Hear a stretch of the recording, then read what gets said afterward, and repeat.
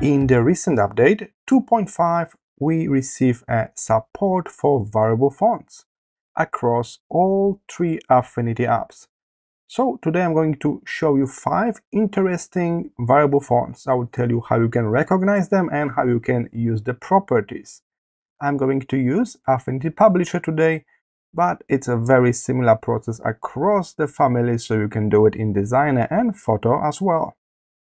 So here I am. The first font I want to suggest you to grab is called Teachers. It's a really standard basic font but the advantage of it is a variable font with one slider.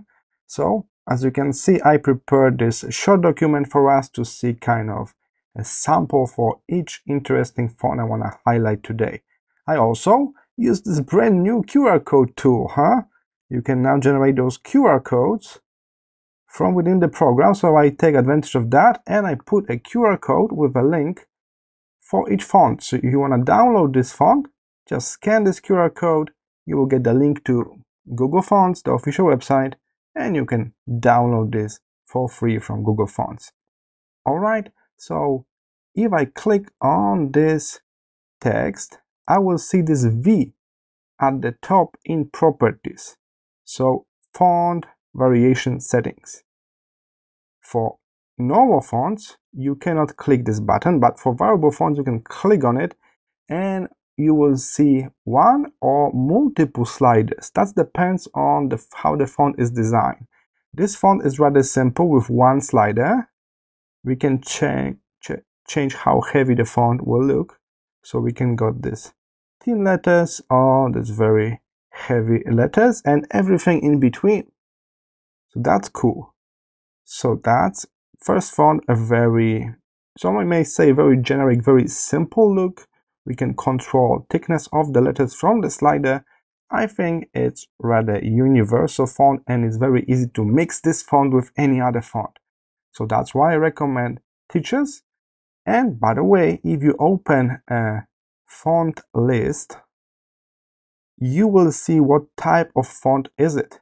So for teachers, you can see you got this O with the letter V. V stands for variable. So maybe you already got some variable fonts on your machine. To check that, you can turn off filtering.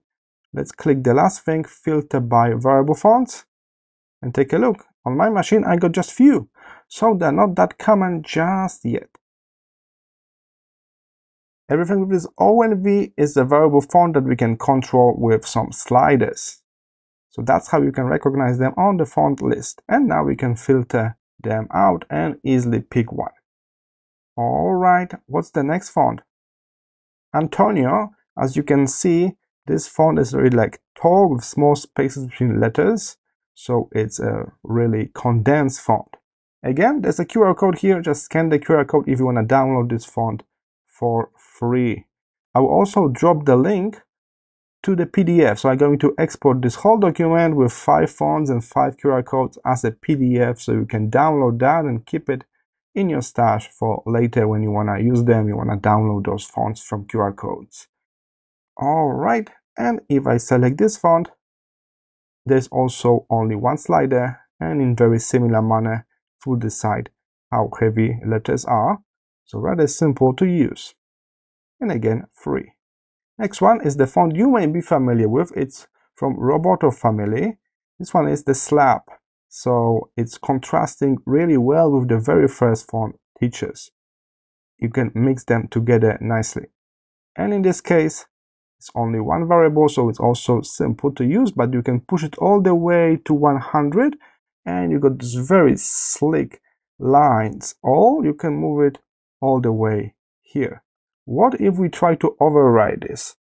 Let's say 1500, enter nothing happens, it's jumped back to 900. Okay, here's the QR code. The next font is a bit more fancy and it's perfect for those nice, elegant glamour headers. And for the variable settings, we got two sliders this time. One is the weight of it and one is the width of it. So we can kind of, I don't want to use the word stretch it because it's way more advanced than just stretching the font, right? All right, so now we got two sliders, we got more control for this font. And there's one more font in today's video I wanna recommend you.